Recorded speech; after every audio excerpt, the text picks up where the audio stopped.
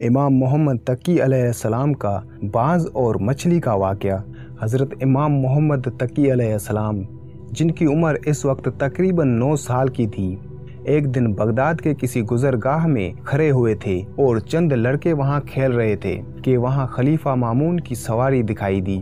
सब लड़के डर कर भाग गए, मगर हज़रत इमाम मोहम्मद तकी सलाम अपनी जगह पर खड़े रहे। जब मामून की सवारी वहाँ पहुँची तो उसने हज़रत इमाम मोहम्मद तकी सलाम से मुखातिब होकर कहा कि, साहबजादे, जब सब लड़के भाग गए तो तुम क्यों नहीं भागे? उन्होंने जवाब दिया कि, मेरे खड़े रहने से रास्ता तंग ना था, जो हट जाने से वसी हो जाता, और मैंने कोई जुर्म नहीं किया कि डर जाता।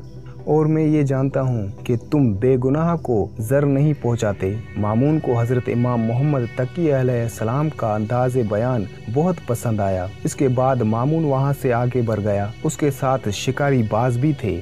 जब आबादी से बाहर निकल गया तो उसने एक बाज को एक चकोर पर छोड़ा। बाज नज़रों से ओझल हो गया और जब वापस आया तो उसकी चोंच में एक छोटी सी ज़िंदा मछली थी।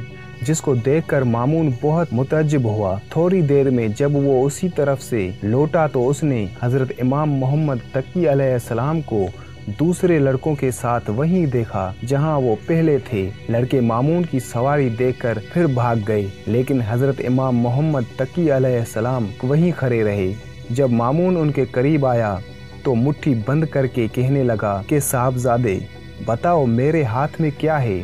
उन्होंने फरमाया, अल्लाह ताला ने अपने दरियाए कुदरत में छोटी मछलियाँ पैदा की हैं और सलातीन अपने बाँस से उन मछलियों का शिकार करके अहल बैत रसालत के इल्म का इम्तिहान लेते हैं। ये सुनकर मामून बोला, बेशक तुम अली इब्ने मूसा रजा के फर्जंद हो, फिर उनको अपने साथ लेता गया।